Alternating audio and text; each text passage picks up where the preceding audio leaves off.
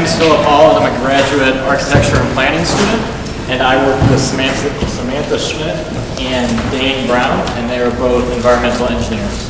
Um, we based our project pretty heavily on two things, and the first was theory, and the second was that I was working with um, two environmental engineers. Um, so the theory that we worked with um, comes from Ian McHarg in his 1969 um, environmental design classic called Design with Nature.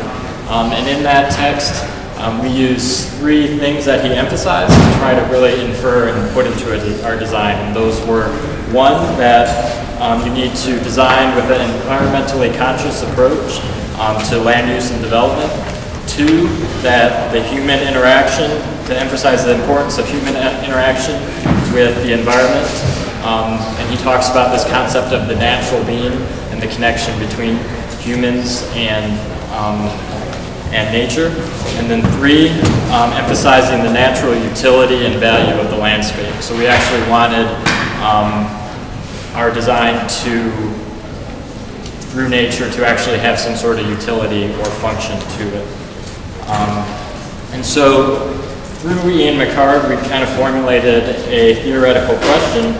Um, and Ian McHarg had a lot to do with um, discussing preservation of undeveloped natural landscapes. And so our question then was, how can his theory impact the redevelopment of an existing urban site, which really doesn't have any, or has very little existing natural landscape left on it. Um, so we had a couple of objectives. Our objective was to consider the previous and existing natural site conditions and design an environmental restoration project, whether literal or symbolic, that one, enhance the interaction between man and nature, two, utilize natural functions of the land, and three, incorporated an environmentally conscious building design. Um, so when we first took a look at the site, there was actually very little that was left that we actually considered natural.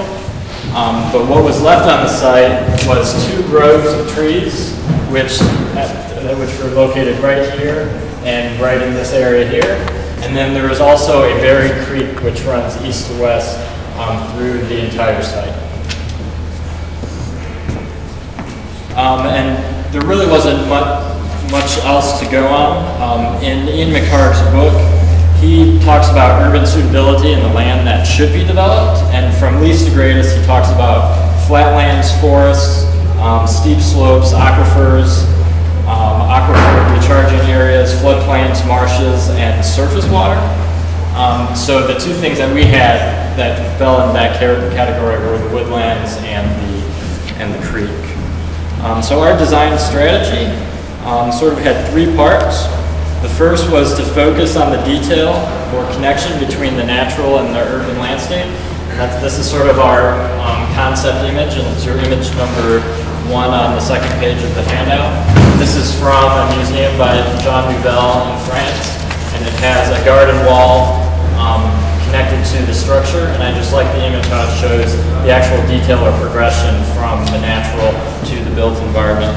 The second part of our design strategy was um, to look at the transition from the inner natural core of our site, which is um, going to be the creek, which we have as a um, biofiltration swale, and how that then progresses out into the urban edge. And then the third part of our design strategy was to play with the elements of the urban, the strict urban grid, um, and the free form, um, the free form that you find in natural elements. Um, so the main design constraint of our site really had to do with the creek which runs through it, um, which Samantha is going to talk about, um, which is what we decided to do with that instead of restoring the creek itself was to have a symbolic design gesture and make it into, like I said, a biofiltering um, okay, as Phil said, uh, one of our main uh, options, I guess one of our first options when we first started talking about it was actually to restore the creek, um, which is currently piped by a 96-inch clay pipe, so a pretty large pipe. Uh, there are three main problems that we saw with this. The first was the quantity of water that would be running site.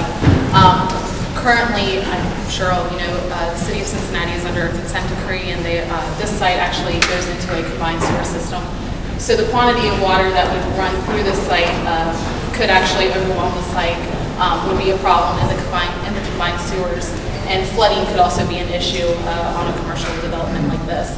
Uh, The second was the quality of water. Um, Upstream, uh, the water isn't very aesthetically. Um, Also, there's a lot of debris and garbage that runs through the creek, so that wouldn't necessarily add to the aesthetics of our site uh, if we let that water flow uh, freely. Um, The third issue was funding, which was probably the biggest issue of all. Uh, Any sort of federal funding that is granted to creek restoration typically comes uh, if you're improving water quality um, or or if you're going to increase habitat in that stream.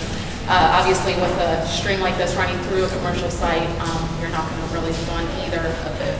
So we decided to go with a more symbolic gesture, which was the bioswale. Um, The bioswale would decrease water quantity and increase water quality. Uh, Going through a bioswale uh, like this allows us to develop a low-impact development, which is uh, one of the main things um, that cities typically look for, uh, especially when they're under their consent decrees. Um, Bioswales will help uh, filter pollutants and can actually help improve the water quality of the receiving streams um, downstream as well as what water quality on the site.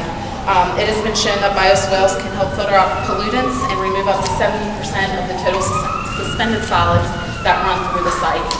Um, Another benefit to the bioswale is cost. Uh, A lot of times constructing a swale like this can cost less than your typical curb and gutter um, and also your underground pipe systems. Uh, So basically, um, we know this is a pretty large swale. We know that it's kind of a straight shot. We didn't have a lot of room to meander it. So um, a couple things that we would do to help protect the swale. uh, We have more than plenty of room. Um, Philip was able to provide us more than plenty of room in case of flooding issues. However, we really don't think that would be an issue because we designed the swale to accommodate um, the 50-year storm. So basically, to reduce velocities and erosions, what we could do is add uh, rock check dams. Um, You could either do rock or you could actually do wood as well. Um, Wood tends to be more aesthetically pleasing uh, through swales like this. And um, we could also do uh, plunge pools, um, where throughout the swale, your sections would actually get a little, little bit wider, which would reduce the velocities. Um, Another thing that we talked about is the swale is oversized actually because, uh, because of uh, Madisonville being a combined sewer network, we wanted to um, decrease the amount of runoff as much as possible. So what Dane's going to actually touch on is um, the green roofs and the pervious pavements that we are using, uh, which actually will um, provide less water getting into the swale, so. All right, because this is such a large site and we are